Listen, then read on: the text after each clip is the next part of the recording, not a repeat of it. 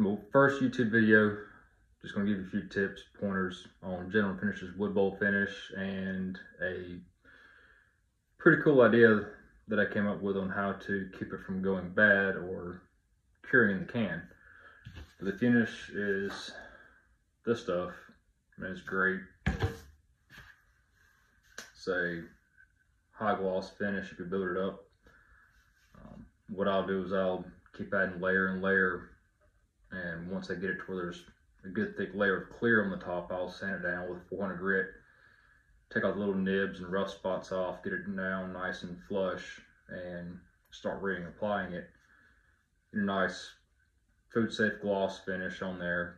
Um, it can go over epoxy, it can go over anything that's oil, you can put it over the top of. Um, like this one, this is just a piece of black walnut that I got with Mahoney's walnut oil. Um, it's a little darker with just the walnut oil compared to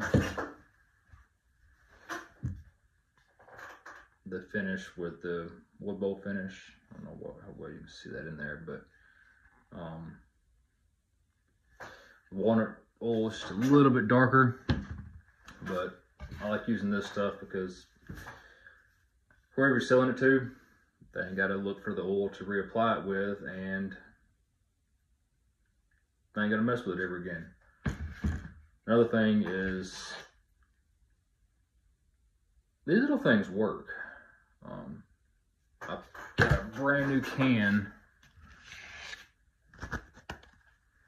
the other day, and a quart will fit in roughly two and a half of these little IV bags.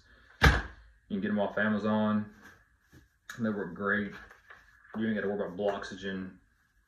Um, just pop the little tab open. And what I'll do when I get to the final stages of doing applying a light coat for the final finish is I'll just take a little little plastic cup. I'll cut the bottom out of it. it you don't even need half an ounce to uh, apply it with. And they also had a nice little tip on one of their videos, which is taking these little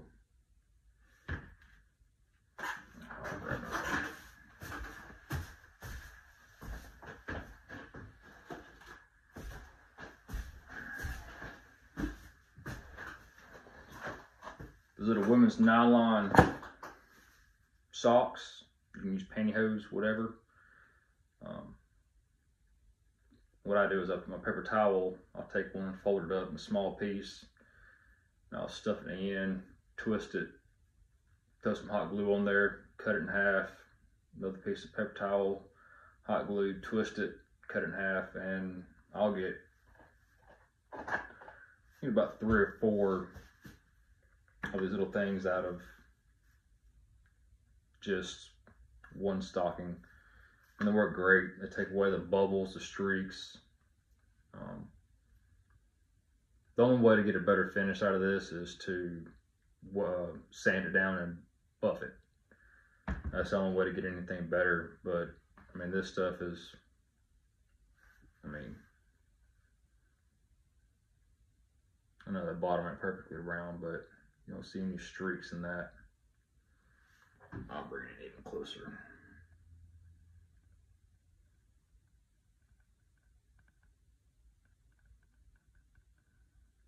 Yeah. No streaks. It's it's great. I love using it. So, and I'll just show you how to apply those little applicators. Man, it's really not hard. It takes several coats, but they claim it's food safe, so I'll stand on that versus lacquer in a bowl that's not labeled food safe. Uh, that's probably going to cause a disturbance, but, but yeah, it don't take much. See, just like that. No bubbles. no need for Bloxygen. Doesn't seep out of the bag, doesn't make the bag. I mean, it's it's some type of a food safe PVC. They actually make these things for little party gags that you can get and put your liquor or whatever you want to drink out of for Halloween parties. Um, another thing I do is take a little two by four and put some nails in there and sanded the tops down. That way I can flip it over, flip the bowl over. So once I get to the final finishing stage, I'll only do one side at a time. That way I'm not leaving fingerprints of the finish where I just layered it at. It's undisturbed, laid flat, no problems. And then what I'll do is I'll just take it when I'm ready to do the bottom side like I'm about to do. I'll just take it and lay it on one of those and no problem. Matter of fact, that's kind of shallow, so. I'll take two, stack them up.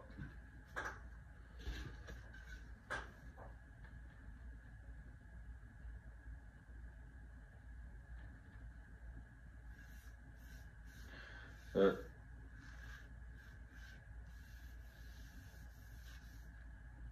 it doesn't take much.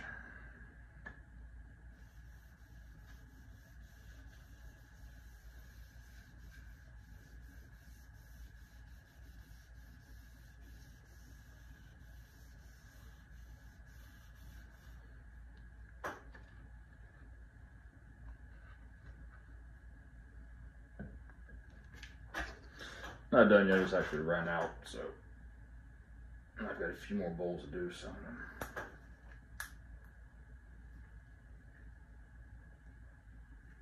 That'll make a mess.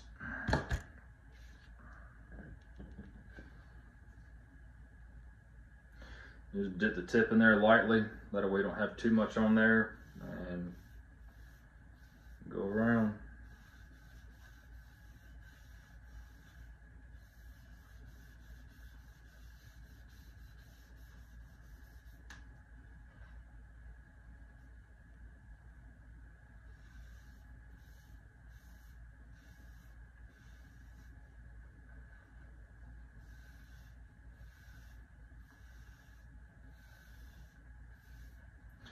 And I know I'm on totally Michael Jackson in it right now with only one glove on, but I shouldn't need another glove since I don't plan on sticking that hand in, in the finish. I don't plan on it.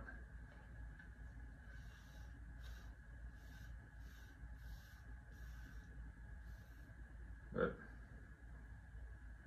this is a piece of spalted willow, by the way. It was severely punky on that end. That's why I had to take the Dremel and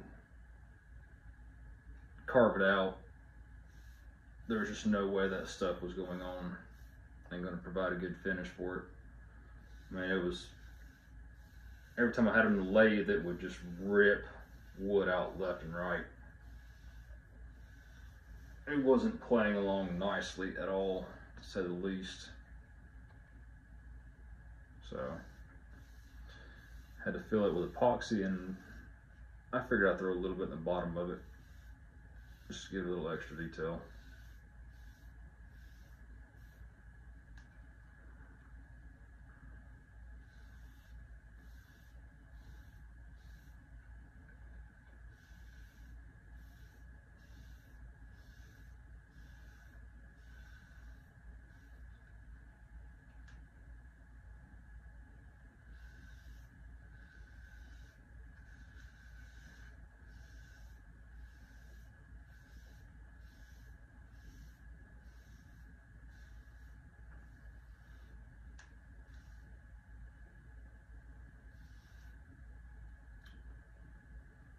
So, yeah, I mean, if you like a, if you've got an oil finish that you like, go figure it out, do that. Luckily, it hasn't, it hasn't started curing yet.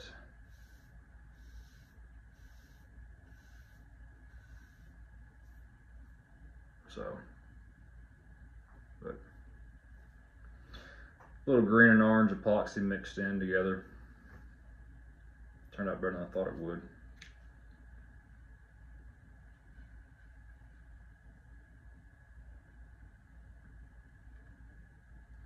But if you've got a finish or an oil that you like that's darker than this stuff, once you get to using it, you can use it like I've used boiled linseed oil on a piece to give that darker orange color.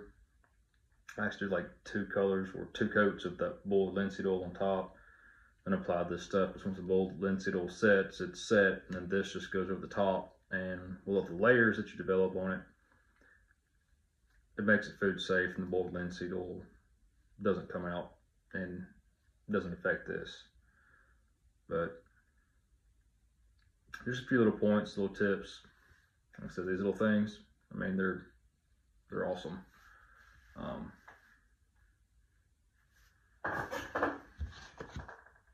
I got one more. Yeah. This is a piece of peach for comparison. That's with the wood bowl finish on it. And that's just with Mahoney's oil. It's ornamental peach, not fruiting peach. Looked up and came across one that had three trunks on it that was roughly the size of, each one of them was about the size of a basketball. Real nice stuff. But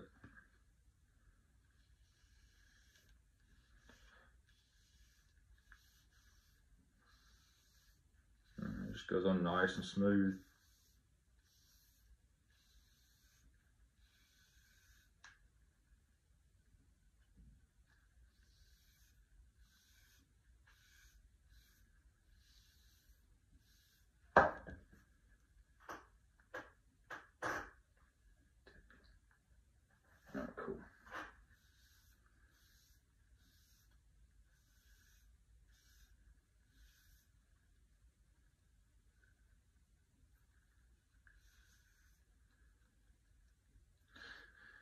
And I figured I'd leave a little bit of the. This one had a few wormholes in it, so I figured I'd leave some of that on there, give it some character. Once I put this finish on there, it'll harden up. And the other thing about this stuff too is if your wood's real punky, saturate with this stuff. I mean, it's it hardens. Plus, it'll build you a nice little base coat, saturating the punky wood with it. Just pour it to it, let it drink all it wants to drink, let it sit for a few days and return it. Won't have any tear out, no chunks missing. But now, I gotta get this room ready to repaint. I can't stand this blue in here. It's time to go.